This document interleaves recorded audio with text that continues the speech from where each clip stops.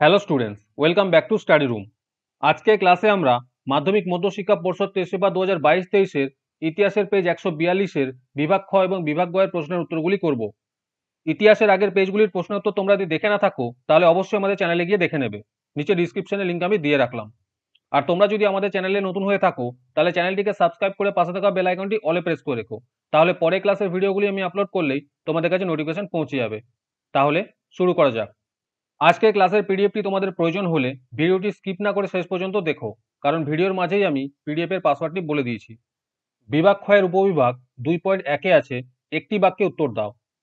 এক নম্বর প্রশ্ন হলো, কলকাতা বিশ্ববিদ্যালয়ের প্রথম ভারতীয় উপাচার্য কে ছিলেন? এর উত্তর হবে গুরুদাস বন্দ্যোপাধ্যায়। দু নম্বর প্রশ্ন হলো, দ্য ফকির অফ জঙ্গিরা কে রচনা করেন? এর উত্তর হবে ডিরোজিও। তিন নম্বর প্রশ্ন হলো, ন্যাশনাল মিত্র কাকে বলা হয়? এর উত্তর হবে নবগোপাল মিত্রকে। চার নম্বর প্রশ্ন হলো, কার নেতৃত্বে ভাইকম সত্যাগ্রহ পরিচালিত হয়েছিল? এর উত্তর হবে, কেলাপ্পান ও কে ভি কেসবা মেননের নেতৃত্বে। এরপরে আছে, ঠিক বা ভুল নির্ণয় করো। এক নম্বর প্রশ্ন হলো, সোমপ্রকাশ পত্রিকা প্রতি সোমবার প্রকাশিত হতো, এটি ঠিক হবে। দু নম্বর প্রশ্ন হলো, ওয়াবি কথার অর্থ নবজাগরণ, এটি ঠিক হবে। তিন নম্বর প্রশ্ন হলো, তমলুকে ভগিনী সেনা গঠন করেন ভগিনী নিবেদিতা এটি ভুল হবে। চার নম্বর প্রশ্ন হলো, উনিশশো সালে ভারতের সংবিধানের স্বীকৃত ভাষা ছিল চোদ্দটি। এটি ঠিক হবে। এরপরে আছে, কস্তম্ভের সঙ্গে খস্তম্ভ স্তম্ভ মেলাও। এক নম্বর প্রশ্ন হলো, আনন্দমঠ। এর উত্তর হবে বঙ্কিমচন্দ্র চট্টোপাধ্যায়। দু নম্বর প্রশ্ন হলো, সে দিনের কথা। এর উত্তর হবে মণিকুন্তলা সেন। তিন নম্বর প্রশ্ন হলো শৃঙ্খল ঝঙ্কার এর উত্তর হবে বীণা দাস। চার নম্বর প্রশ্ন হলো, স্বাধীনতার স্বাদ। এর উত্তর হবে মানিক বন্দ্যোপাধ্যায়। এরপরে আছে, নিম্নলিখিত বিবৃতিগুলির সঙ্গে সঠিক ব্যাখ্যাটি নির্বাচন করো। এক নম্বর বিবৃতি হলো, সরলা দেবী চৌধুরানী লক্ষ্মী ভাণ্ডার প্রতিষ্ঠা করেন। এর উত্তর হবে ব্যাখ্যা দুই, স্বদেশী দ্রব্য বিক্রির জন্য। দু নম্বর বিবৃতি হলো, শিক্ষিত বাঙালিরা মহাবিদ্রোহ থেকে দূরে ছিল। এর উত্তর হবে ব্যাখ্যা তিন, তারা ইংরেজ শাসনের সুফল ভোগ করছিল। তিন নম্বর বিবৃতি হলো, বঙ্গভঙ্গ বিরোধী আন্দোলনে কৃষকদের জন্য কোনো কর্মসূচি ছিল না। এর উত্তর হবে ব্যাখ্যা দুই। বঙ্গবঙ্গ বিরোধী আন্দোলন ছিল মূলত মধ্যবিত্ত শ্রেণির আন্দোলন। চার নম্বর বিবৃতি হল, গান্ধীজি লবণকে আইন অমান্য আন্দোলনের মুখ্য বিষয় হিসেবে বেছে নিয়েছিলেন। এর উত্তর হবে ব্যাখ্যা এক, লবণ ছিল মানুষের অপরিহার্য প্রয়োজনীয় দ্রব্য। বিভাগ গয়ে আছে, দুটি অথবা তিনটি বাক্যে নিম্নলিখিত প্রশ্নগুলির উত্তর দাও। এক নম্বর প্রশ্ন হল, আধুনিক ইতিহাস চর্চায় খেলার ইতিহাস গুরুত্বপূর্ণ কেন? এর উত্তর হবে, খেলার ইতিহাস চর্চার গুরুত্ব হলো এক নম্বর পয়েন্ট হলো, খেলার ইতিহাস চর্চার মধ্যে দিয়ে কোনো দেশ বা জাতির অতীত বিনোদন, ওই খেলার ঐতিহ্য ও উদ্ভব বিকাশ সম্পর্কে জানা যায়। দু নম্বর পয়েন্ট হলো, কোনো দেশ বা জাতির জাতীয় ঐক্য প্রতিষ্ঠায় খেলার ভূমিকা কতটা তা খেলার ইতিহাস চর্চার মধ্যে দিয়ে বোঝা যায়। তিন নম্বর পয়েন্ট হলো, খেলার ইতিহাস চর্চার মাধ্যমে কোনো দেশ বা জাতির আন্তর্জাতিক সম্পর্ক স্থাপনে খেলার কতটা গুরুত্বপূর্ণ ভূমিকা আছে তা জানা যায়। চার নম্বর পয়েন্ট হলো, খেলায় অংশগ্রহণের ক্ষেত্রে জাতি, ধর্ম, বর্ণ, লিঙ্গ প্রভৃতি কোনো বাধা আছে কি না, তার ভিত্তিতে সামাজিক প্রগতিশীলতা ও বৈজ্ঞানিক মানসিকতা বোঝা যায়। দু নম্বর প্রশ্ন হলো, আঞ্চলিক ইতিহাস বলতে কি বোঝায়? এর উত্তর হবে, স্থানীয় ইতিহাস বা আঞ্চলিক ইতিহাস হলো কোনো একটি নির্দিষ্ট অঞ্চলের বা স্থানের জনসমাজের নিজস্ব ইতিহাস। ওই অঞ্চলের ভৌগোলিক সীমানা, আবহাওয়া, জলবায়ু, মাটি, অর্থনৈতিক, সমাজ, সংস্কৃতি, রাজনীতি, ধর্ম প্রভৃতি সবকিছুই স্থানীয় ইতিহাসে আলোচনা করা হয়। সরকারি নথিপত্র প্রত্নতাত্ত্বিক উপাদান প্রভৃতি প্রচলিত ও গুরুত্বপূর্ণ উপাদান ছাড়াও কিংবদন্তি জনশ্রুতি বা লোককথা প্রভৃতি উপাদান থেকেও তথ্য সংগ্রহ করা হয় স্থানীয় ইতিহাস বা আঞ্চলিক ইতিহাস রচনা করতে। তিন নম্বর প্রশ্ন হলো, সংবাদপত্র ও সাময়িক পত্রের মধ্যে পার্থক্য কি? এর উত্তর হবে, সাময়িক পত্র ও সংবাদপত্রের বৈশিষ্ট্যগুলি থেকে মূল পার্থক্যের যে দিকগুলি উঠে আসে তা হলো, এক নম্বর পয়েন্ট, সাময়িক পত্র নির্দিষ্ট সময় অন্তর প্রকাশিত পত্রিকা, কিন্তু সংবাদপত্র দৈনিক বা প্রত্যহ প্রকাশিত পত্রিকা। দু নম্বর পয়েন্ট হলো, সাময়িক পত্র প্রকাশিত হয় দামি কাগজে, কিন্তু সংবাদপত্র প্রকাশিত হয়ে থাকে তুলনামূলক সস্তা দামের কাগজে। তিন নম্বর পয়েন্ট হলো, সাময়িক পত্র বাধা আকারে থাকে, কিন্তু সংবাদপত্র বাধা আকারে থাকে না, তা বাধাহীন আকারে প্রকাশিত হয়। চার নম্বর প্রশ্ন হলো, প্রাচ্য ও পাশ্চাত্যবাদী বিতর্ক কি? এর উত্তর হবে, আঠারোশো তেরো খ্রিস্টাব্দে সনদ আইন অনুযায়ী ভারতীয় জনশিক্ষার জন্য কোম্পানি প্রতি বছর এক লক্ষ টাকা ব্যয় করবে এই সিদ্ধান্ত কার্যকরী হয়। এই মর্মে আঠারোশো তেইশ খ্রিস্টাব্দে general committee of public instruction বা জনশিক্ষা কমিটি গঠিত হয়। উক্ত এই এক লক্ষ টাকা কোন শিক্ষা খাতে ব্যয় হবে তা নিয়ে জনশিক্ষা কমিটির সদস্যরা দু দলে ভাগ হয়ে যায়। এক নম্বর প্রাচ্যবাদী এবং দু নম্বর পাশ্চাত্যবাদী। এক নম্বর point প্রাচ্যবাদী। Elliot Macnaghten, J C Sutherland, H T Prinsep, প্রমুখ প্রাচ্য ভাষা তথা সংস্কৃত, আরবি, ফার্সি ব্যাকরণ জ্যোতিষচর্চা পক্ষপাতী ছিলেন। তারা প্রাচ্যবাদী নামে পরিচিত। দু নম্বর point, পাশ্চাত্যবাদী। Sir John Shore, Charles Grant, James Mill প্রমুখ যারা পাশ্চাত্য জ্ঞান বিজ্ঞান, পাশ্চাত্য দর্শন ইত্যাদি সপেক্ষে ছিলেন, তারা পাশ্চাত্যবাদী নামে পরিচিত। পাঁচ নম্বর প্রশ্ন হল, সংরক্ষিত অরণ্য বলতে কি বোঝায়? এর উত্তর হবে, আঠারোশো আটাত্তর খ্রিস্টাব্দের অরণ্য আইন দ্বারা ভারতে ব্রিটিশ সরকার কর্তৃক সুরক্ষিত নিয়ন্ত্রিত বনাঞ্চলগুলি হল সংরক্ষিত অরণ্য। বাণিজ্যিকভাবে এখানে মূল্যবান কাঠ উৎপাদিত হয়। গ্রামবাসীদের বনাঞ্চলগুলির ওপর কোনো কর্তৃত্ব মানা হয় না। সরকারি নির্দেশ ছাড়া এখানে গাছ কাটা নিষিদ্ধ। ছ নম্বর প্রশ্ন হলো, ফরাজি আন্দোলনের লক্ষ্য কি ছিল? এর উত্তর হবে, ফরিদপুরের মৌলভী হাজি শরিয়ত উল্লাহের নেতৃত্বে সংগঠিত ফরাজি আন্দোলনের প্রধান উদ্দেশ্য ছিল, এক নম্বর পয়েন্ট, ইতিহাস ধর্মের বিভিন্ন সময়ে যেসব কুসংস্কারগুলির প্রবেশ ঘটেছে তা দূর করে কোরআনের ভিত্তিতে ইসলাম ধর্মের পুনর্জাগরণ ঘটানো। দু নম্বর পয়েন্ট হলো, বিধর্মী ইংরেজদের বিতাড়িত করে ভারতে দার উল ইসলাম প্রতিষ্ঠা করা। তিন নম্বর পয়েন্ট হলো, অত্যাচারী জমিদার, মহাজন ও নীলকর সাহেবদের বিরোধিতা করা। সাত নম্বর প্রশ্ন হলো ল্যান্ড হোল্ডার সোসাইটি কেন প্রতিষ্ঠিত হয়েছিল? এর উত্তর হবে, আঠারোশো আটত্রিশ খ্রিস্টাব্দে দ্বারকানাথ ঠাকুরের উদ্যোগে জমিদার সবার নাম হয় land holder society.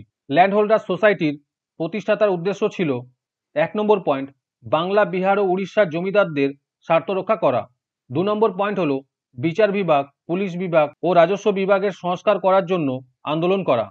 তিন নম্বর পয়েন্ট হলো ভারতের সর্বত্র চিরস্থায়ী বন্দোবস্ত প্রবর্তনের জন্য চেষ্টা করা। চার নম্বর পয়েন্ট হলো কলকাতার ব্রিটিশ আমলাতন্ত্র ও লন্ডনের ব্রিটিশ ইন্ডিয়া সোসাইটির সঙ্গে ঘনিষ্ঠ সম্পর্ক গড়ে তোলা। আট নম্বর প্রশ্ন হলো আঠারোশো সাতান্ন সালের বিদ্রোহকে কেন জাতীয় বিদ্রোহ বলা হয়?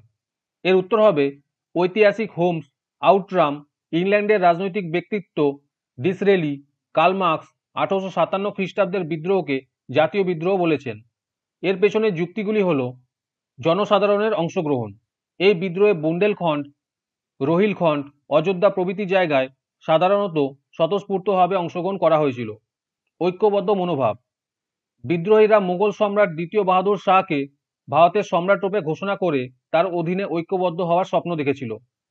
ন নম্বর প্রশ্ন হলো, আচার্য প্রফুল্লচন্দ্র রায় বিখ্যাত কেন?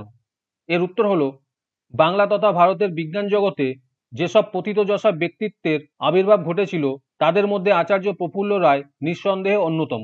তিনি ছিলেন একজন প্রখ্যাত বাঙালি রসায়নবিদ, শিক্ষক, দার্শনিক ও কবি। তিনি বেঙ্গল কেমিক্যালসের প্রতিষ্ঠাতা এবং মার্কারি নাইট্রেটের আবিষ্কারক। দেশীয় শিল্পায়নেরও তিনি ছিলেন একজন প্রধান উদ্যোক্তা। দশ নম্বর প্রশ্ন হল, শান্তিনিকেতন প্রতিষ্ঠার উদ্দেশ্য কি ছিল? এর উত্তর হবে, বিশ্বকবি রবীন্দ্রনাথ ঠাকুরের শান্তিনিকেতন প্রতিষ্ঠার মূল উদ্দেশ্য ছিল এক নম্বর পয়েন্ট আশ্রমিক শিক্ষাধারা প্রবর্তন। প্রাচীন ভারতের তপবন শিক্ষা তথা আশ্রমিক শিক্ষাধারা চালু করার মধ্যে দিয়ে নিভৃতে আধ্যাত্মিক সাধনা ও শাস্ত্রবিদ্যা অধ্যয়ন করা। দু নম্বর পয়েন্ট গুরু শিষ্যের আত্মিক বন্ধন। গুরু শিষ্যের আত্মিক বন্ধন সার্বিকভাবে স্থাপিত না হলে ঋষিতুল্য মনীষীদের কাছ থেকে বা তাদের মুখনিশ্চিত বাণী গ্রহণ করা সার্থক হবে না। এটি একমাত্র আশ্রমিক পরিবেশে সম্ভব। এগারো নম্বর প্রশ্ন হলো বয়কট ও স্বদেশী বলতে কি বোঝায়? এর উত্তর হবে, উনিশশো পাঁচ খ্রিস্টাব্দের বঙ্গভঙ্গকে কেন্দ্র করে যে ব্রিটিশ বিরোধী আন্দোলনের সূত্রপাত হয়, তা বঙ্গভঙ্গ বিরোধী আন্দোলন বা স্বদেশী আন্দোলন নামে খ্যাতি লাভ করে। এই আন্দোলনের যুগ্ম চরিত্রের একটি স্বদেশী ও অন্যটি বয়কট নামে পরিচিত। স্বদেশী ও বয়কট ছিল বঙ্গভঙ্গ বিরোধী আন্দোলনের প্রধান অস্ত্র। বারো নম্বর প্রশ্ন হলো চৌরা ঘটনা কি? এর উত্তর হবে, উনিশশো বাইশ খ্রিস্টাব্দের পাঁচই ফেব্রুয়ারি উত্তরপ্রদেশের গোরখপুর জেলায় অবস্থিত চৌরাতে অসহযোগ আন্দোলনে অংশগ্রহণকারী বিক্ষোভকারীদের ওপর পুলিশ নির্যাতন শুরু করলে আন্দোলনকারীরা পুলিশদের তাড়া করে। এই অবস্থায় বিক্ষোভকারীরা এক হিংসাত্মক ও ধ্বংসাত্মক কার্যক্রমে লিপ্ত হয়ে পড়ে। তারা একটি পুলিশ থানায় আগুন দেয় এবং প্রত্যুত্তরে পুলিশ গুলি চালায়।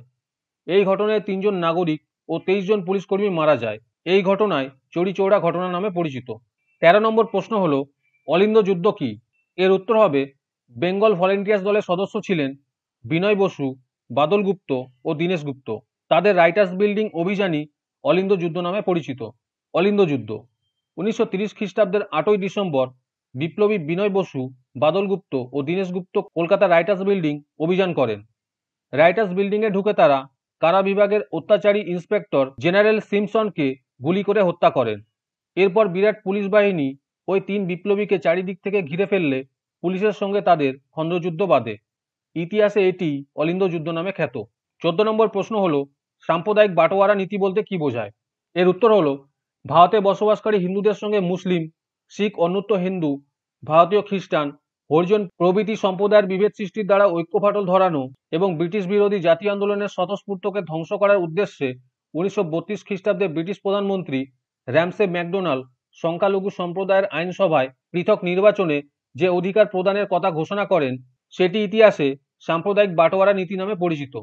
এই পিডিএফটির পাসওয়ার্ড হলো টু ফোর সিক্স এইট পনেরো নম্বর প্রশ্ন হল, নেহরু লিয়াকত চুক্তির শর্ত কী ছিল? এর উত্তর হবে, ভারতে উদ্বাস্তুদের স্রোত কমানোর জন্য উনিশশো পঞ্চাশ খ্রিস্টাব্দে নেহরু লিয়াকত চুক্তি স্বাক্ষরিত হয়েছিল। এই চুক্তিতে ঠিক হয়, এক নম্বর পয়েন্ট, সংখ্যালঘু শ্রেণি নিজ রাষ্ট্রের প্রতি অনুগত থাকবে এবং নিজ রাষ্ট্রের কাছেই যে কোনো সমস্যার প্রতিকার চাইবে। দু নম্বর পয়েন্ট ভারত ও পাকিস্তান উদ্বাস্তু সমস্যার কারণ ও সংখ্যা নির্ধারণের জন্য অনুসন্ধান কমিটি ও সংখ্যালঘু কমিশন তৈরি করবে। তিন নম্বর পয়েন্ট পূর্ব ও পশ্চিমবঙ্গের মন্ত্রিসভায় সংখ্যালঘু প্রতিনিধি থাকবে। ষোলো নম্বর কোশ্চেন হলো জেভিপি কমিটি কেন গঠিত হয়? এর উত্তর হবে, স্বাধীনতার পর ভাষাভিত্তিক রাজ্য পুনর্গঠনের দাবিতে দক্ষিণের অধিবাসীরা সবর হয়। এই সমস্যা সাধনের লক্ষ্যে আঠারোশো আটচল্লিশ খ্রিস্টাব্দের ডিসেম্বর মাসে জেভিপি কমিটি নামে একটি কমিটি গঠন করা হয়। এই কমিটির সদস্যরা ছিলেন জওহরলাল নেহেরু, বল্লভভাই প্যাটেল ও পট্টবী সীতারামাইয়া। এই কমিটি তার প্রতিবেদনে ভারতের জাতীয় ঐক্য রক্ষা করতে ও প্রাদেশিক ক্ষেত্রে জটিলতাকে প্রতিহত করতে জানায় যে ভাষার ভিত্তিতে রাজ্য পুনর্গঠন সম্ভব নয়। আজকের ক্লাসের ভিডিও তোমাদের ভালো লেগে থাকলে অবশ্যই একটি লাইক দিও। পরের পেজগুলির প্রশ্নের উত্তর আমরা নেক্সট ক্লাসে করব। তাই তোমরা চ্যানেলটিকে অবশ্যই সাবস্ক্রাইব করে পাশে থাকা বেল আইকনটি অলে প্রেস করে রেখো। তাহলে দেখা হচ্ছে পরের ক্লাসে